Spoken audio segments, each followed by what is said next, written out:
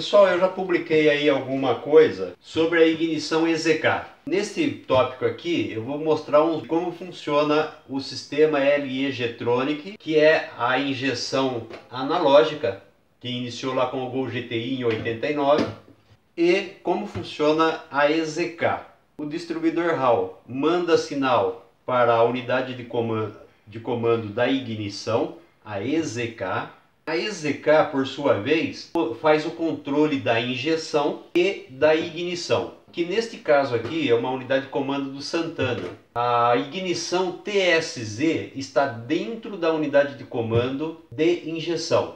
Essa unidade, na verdade, ela substitui o avanço a vácuo e centrífugo do distribuidor. E a unidade de comando de injeção comanda os injetores. Eu coloquei aqui uma lâmpada no lugar dos injetores e uma outra lâmpada no lugar da bobina de ignição. Neste caso aqui, a etapa final de ignição está na unidade de injeção e sai daqui. Então está faltando ainda muita coisa aqui, mas eu liguei os principais componentes. Ligando a chave de ignição, acende o LED que fica lá no painel, que o pessoal costuma chamar de lâmpada da injeção ou LED da injeção. Na verdade, este LED é da ignição não tem nada a ver com injeção. Essa unidade de injeção não tem autodiagnóstico, é, não é escaneável. Ligando o distribuidor, vocês têm aqui pulsos da ignição e da injeção. Veja que quando funcionou, apagou o LED. Este LED sinaliza se existe três coisas que possa ter defeito aqui. O sensor de temperatura, o sensor de batida de pino ou detonação e o sensor MAP que está dentro da unidade EZK. Então eu tenho aqui um resistor funcionando como sensor de temperatura. Se eu desligar esse sensor que simula o sensor de temperatura, ela reconhece o erro deste sensor e começa a piscar. Então ela dá duas piscadas seguidas e uma paradinha. Isso indica sensor de temperatura defeituoso ou o circuito do sensor aberto. Só vai parar de piscar se alguém desligar a chave de ignição e tornar a ligar novamente o sistema. Aí, se houver novamente o defeito, ela volta a piscar duas vezes. O outro defeito que pode piscar aqui é o sensor de batida de pino, sensor de detonação. Então vou desligar o sensor de detonação ela não reconhece o erro de imediato. Eu tenho que acelerar o carro e a uma determinada rotação ela vai reconhecer que existe um defeito. Em alta rotação começou a, começou a piscar. Mesmo que eu abaixe a rotação, 1, 2, 3, 4, pausa. 1, 2, 3, 4, pausa. Então, quatro piscadas se refere ao sensor de detonação.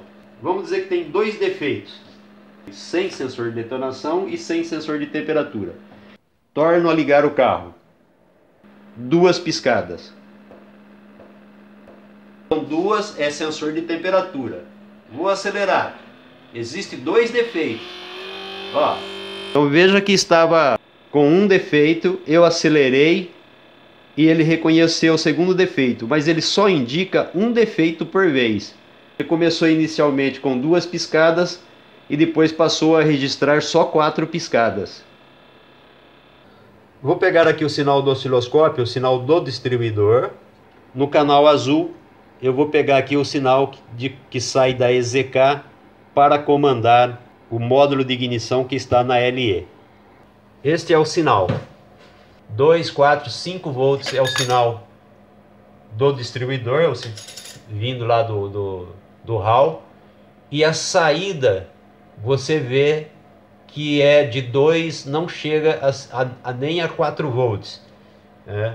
Eu, se eu tirar, desligar ele sem carga, ele vai a 5 volts, mas com carga ele não chega a 5.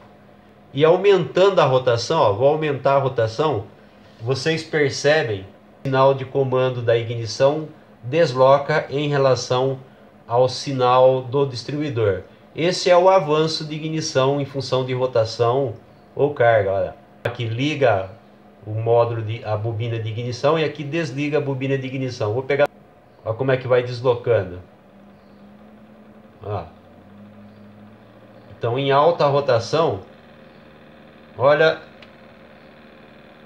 como o, o sistema muda em relação a comando da carga da bobina, que é o chamado tempo de, de, de, ligação da bobina ou ângulo de permanência, e o momento em que desliga a ignição. Esse é o sinal então do distribuidor e o sinal de comando da ignição. Mudando o osciloscópio para pegar agora o sinal que vai para comandar os injetores. O sinal para comandar a injeção ele está em nível de 12 volts. Eu mudei a escala. 5, 10 volts de pulso para comando da injeção e ele está sincronizado.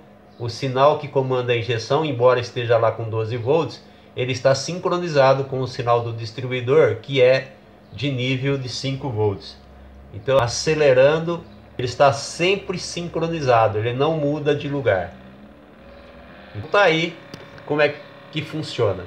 Espero que tenham gostado, compartilhem, deixa aí o seu joinha se você gostou, ou o seu não joinha. E até a próxima. Muito obrigado.